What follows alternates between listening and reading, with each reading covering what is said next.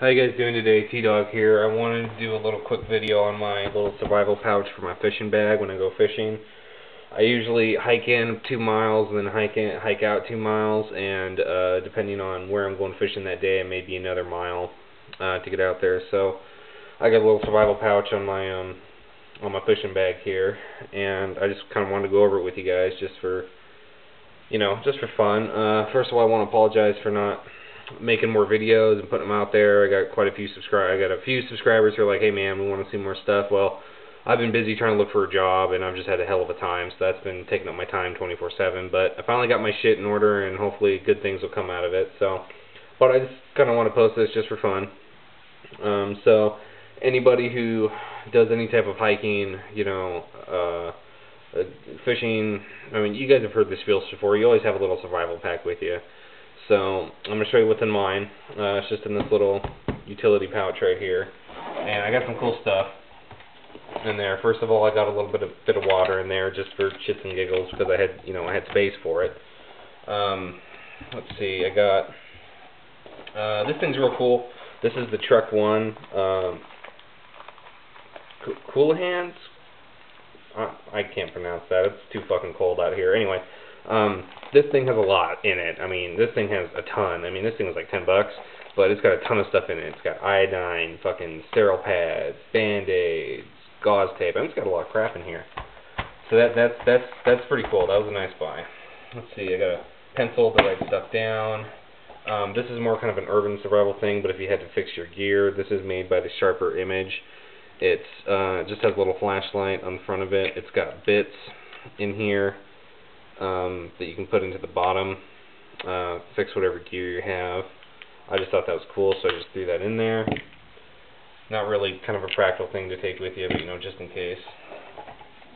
Um, I got another flashlight, which is shoddy at best, but you could always use a nice little flashlight. I'm probably going to replace this because this thing is, um, it's been in here forever, but yeah, I think it's, uh, I don't think it's very reliable, so I'm to have to probably replace that let's see, I have directions and how to use uh, a compass. I got a good compass in here. I got directions on how to use uh, this compass.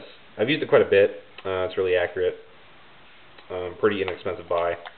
I just have the directions for it, just in case I, for whatever reason, forget what the hell I'm using or how to freaking use it. So, but I mean, shit, that's always good to have, right? Let's see, I got a multi-tool just your um, regular standard multi-tool. Nothing really special about it. Uh, steel construction. That's why I got it. Got a pen. Maybe to write down more stuff if you need it. I've got a nice um, uh, Sheffield knife. This is a rescue knife. It's got the what do you call that? The um, glass breaker, seatbelt cutter, um, when you fold it back, it's got the bottle opener on this side. Uh, nice knife. Uh, I really like that. Uh, so I threw it in there. Nice heavy duty construction. Carry a lighter with me, you know, in case I got to start a fire. Get stuck out there after dark. Always carry one of these with you. Back carry two or three with you. I also um, have one of these little fellers. Uh, this also has a compass on it. Uh, it's waterproof tight, so you can um, put your matches in there. Now, the thing on the side here is supposed to be where you can strike your matches, but I've never ever had one of these work ever for me, so I disregard that thing at you know at all times pretty much. And it's got a little whistle on the end of it if you really get hurt and you need help right away. Uh, let's see. Oh, I got a little um, tin cup that coincides with my little super tiny cooking stove. This thing is super badass. Um, if you guys haven't seen these, they're really cheap to get, and you have at least something to cook on um, without having to build a big ass fire. So this thing's this thing's really cool, and I got some spare fuel tablets for it too. That's pretty much what I take with me when I go fishing. If I was going further in, maybe five, six miles, um, or not five or six, maybe like uh, three to four miles in and three to four miles out on foot, I would carry a much bigger pack with me, with a much bigger kit. But for right now, this is what I'm rocking. So uh, that's pretty much what I carry in there, and you know, I like it. It's uh, pretty much got all your major essentials in it, besides food. But um, I put this really, man. I put this thing together for maybe I don't know, 40, 50 bucks. But that's 40, 50 bucks that you don't have to fucking worry about. If you get into trouble, you know what you got. So that's good. You should keep. You should either you know keep one of these in your car at all times, or you know take it with you every time you know you go out to go have some fun fishing or you know hiking, whatever. So that's pretty much it for my video, and um, I'll see you guys next time. Thanks for subscribing. I think there's like 15 of you guys now. that's cool for me.